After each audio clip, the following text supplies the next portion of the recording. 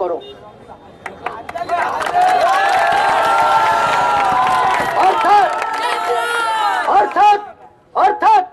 ওরা সেইভাবে সংখ্যা বাড়িয়ে দেশের আইন না মেনে পরিবার পরিকল্পনা না করে এটা একটা রাজনৈতিক চক্রান্ত।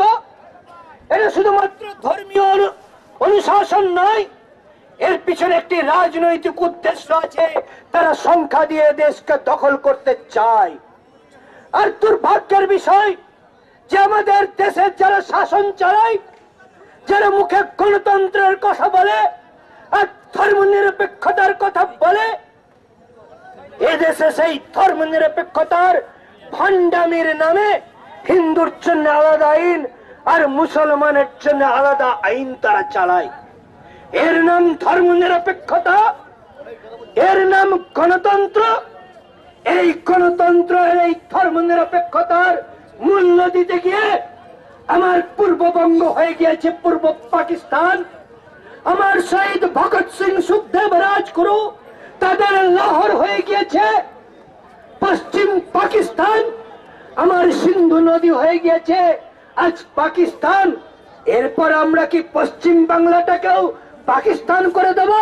তাই রাজনৈতিক নেতারা, তারা ভোটের লোভে যে মুসলিমদের সমস্ত অন্যায়, অবৈধ, অনৈতিক কার্যকলাপকে প্রশ্রয় দিচ্ছে, সেই প্রশ্রয় দেওয়ার ফলে হিন্দুর পায়ের নিচের মাটি সরে যাচ্ছে।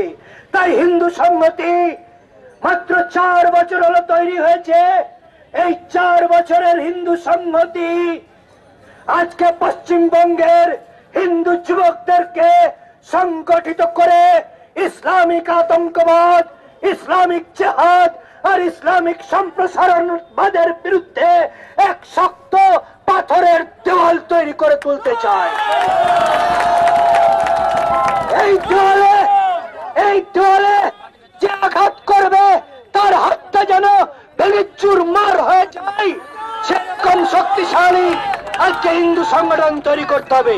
মনে রাখবে হিন্দুত্ব কোনো সংকোচের বিষয় নয়। মনে রাখবে, হিন্দুত্ব কোনো লজ্জার বিষয় নয়। স্বামী বিবেকানন্দ বলে গিয়েছেন, আমি নিজেকে হিন্দু বলিতে অনুভব করি। এই কথাটা মনে রাখবে, আজকে তাই স্বামী বিবেকানন্দের একশো পঞ্চাশতম জন্ম শতবার্ষিকীতে দেড়শো বছরের বর্ষব্যাপী উৎসব অনুষ্ঠান আয়োজিত হবে সেই স্বামী বিবেকানন্দের জন্মদিনে। যে স্বামীজি আঠারোশো তিরানব্বই সালে হিন্দু ধর্মের বিজয় পতাকা গোটা বিশ্বে উড়িয়েছিলেন, আজকে আমরাও আজকে আমাদের পায়ের নিচের মাটি রক্ষা করতে, আমার মা বোনের ইজ্জত রক্ষা করতে, আমার মঠ মন্দির রক্ষা করতে, আমার ধর্মীয় শোভাযাত্রা রক্ষা করতে। হিন্দু সংহতি আজকে শনই শনই এগিয়ে চলেছে। দিকে দিকে হিন্দু সংহতির যুবকরা হিন্দুদের উপর সমস্ত অত্যাচার এবং অপমানের প্রতিকার করছে বন্ধু। আজকে ওই মগরাহাটের সেলিমের ঔদ্ধত্য আমরা চুরমার করে দিয়েছি। আজকে বনগার বর্ডার থেকে ওই মনমোহন সিং এর সরকার, তারা বিএসএফ সরিয়ে নিয়েছে। হিন্দু সংহতির যুবকরা আজকে বনগার বর্ডার পাহারা দিচ্ছে। আজকে বনগাতে বিশাল মোটর সাইকেল র্যালি চলছে। আজকে হিন্দু সংগতি হিন্দুদেরকে রক্ষা করবে। এবং যেমন কৃষ্ণ সম্বন্ধে বলেছিল, তোমারে বধিবে যে গোকুলে বাড়িছে সে ঠিক তেমনি চার বছরের শিশু হিন্দু সংগতি সম্পূর্ণ অরাজনৈতিক ভাবে হিন্দু ঐক্যের কাজ করে চলেছে। হিন্দু প্রতিরোধের কাজ করে চলেছে। কোন রাজনৈতিক দলকে আমরা বিশ্বাস করি না। কংগ্রেস, সিপিএম, তৃণমূল এবং বিজেপি, এরা সকলে। এরা সকলে হিন্দুর পিঠে ছুরি বসিয়েছে যে ভারতীয় জনতা পার্টিকে অনেকে হিন্দুর দল বলে মনে করে।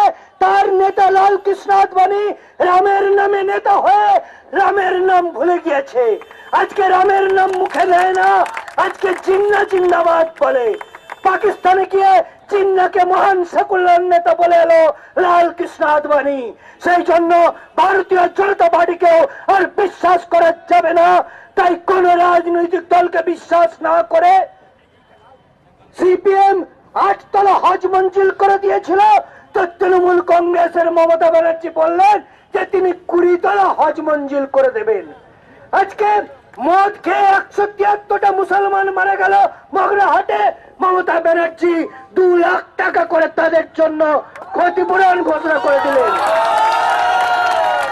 ইসলামে নাকি বলেছে, ইসলামে নাকি বলেছে, নেশা করা নিষেধ, মদ খাওয়া পাপ।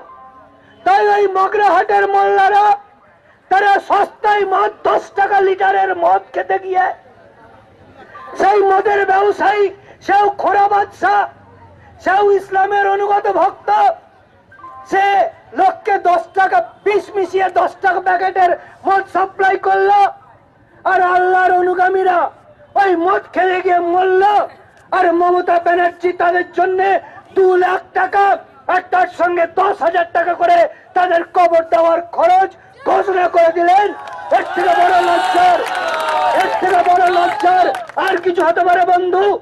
এই রাজনৈতিক দলগুলোই উনিশশো সাতচল্লিশ সালে ইসলামিক হিংসার কাছে, ইসলামিক বিবেক পন্থার কাছে মাথা নত করে তারা আমার মাতৃভূমিকে ভাগ করেছিল। আমার কোটি কোটি হিন্দুর কপালে রিফিউজি কলঙ্ক চিহ্নকে দিয়েছিল। আমার লক্ষ লক্ষ মা বোন সেদিন ধর্ষিত হয়েছিল। ওই লাহোরে শিখ রমণীরা শুকনো কুয়াতে ঝাঁপ দিয়ে তারা তাদের সম্ভ্রম রক্ষা করেছিল। ওই নোয়াখালীতে আমার হাজার হাজার হিন্দু মা বোন সেদিন ধর্ষিত হয়েছিলেন। কিন্তু তবু রাজনৈতিক নেতারা, তারা মুসলিম তোষণ ছাড়েনি। এই সিপিএম এর নেতা বুদ্ধদেব ভট্টাচার্য, এখানে বলে হিন্দু মুসলমান, ভাই ভাই, কিন্তু তার বাড়ি তো পূর্ববঙ্গের ফরিদপুরে।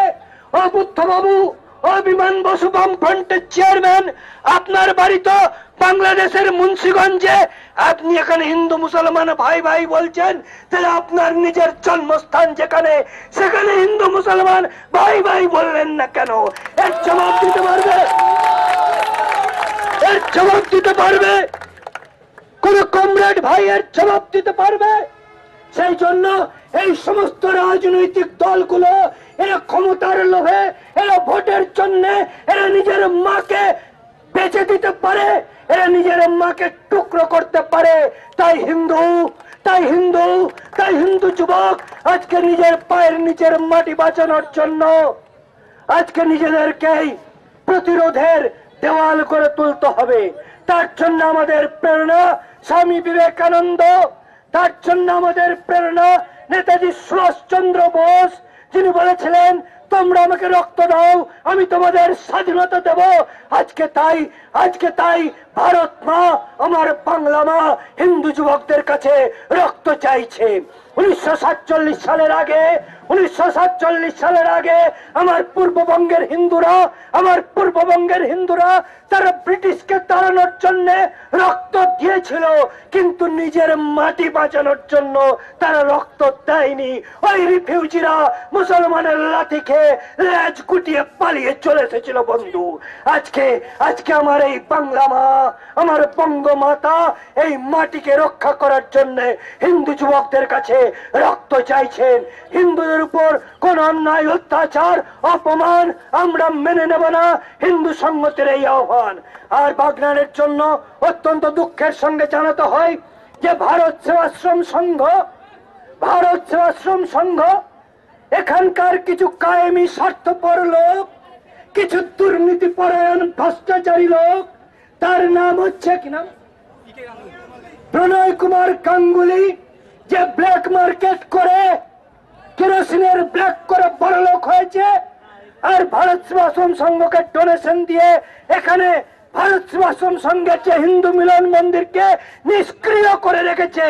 ওই পিকে গাঙ্গুলি, আমি জানি এরপর ওখানে রিপোর্ট করে বালিগঞ্জে, কিন্তু মুসলমানের কাছে টাকা খেয়ে ওর অবৈধ কার্যকলাপ চালানোর জন্য ওই পিকে গাঙ্গুলি এখানকার হিন্দু মিলন মন্দিরকে নিষ্ক্রিয় করে রেখেছে। এর হচ্ছে জয়চাঁদ এরা হচ্ছে জয়চাঁদ আর মির্জাফরের চাঁদ। এরা হচ্ছে জয়চাঁদ। ওই পিকে গাঙ্গুলি হচ্ছে জয়চাঁদ আর মির্জাফরের চাঁদ।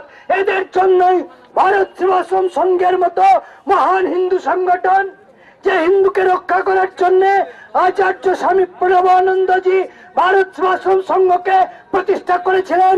এই পিকে গাঙ্গুলির মতো ভ্রষ্টাচারী তোষণকারী দুর্নীতি পরের লোক সেই ভারত সেবাশ্রম সংঘকে নিষ্ক্রিয় করে রেখেছে।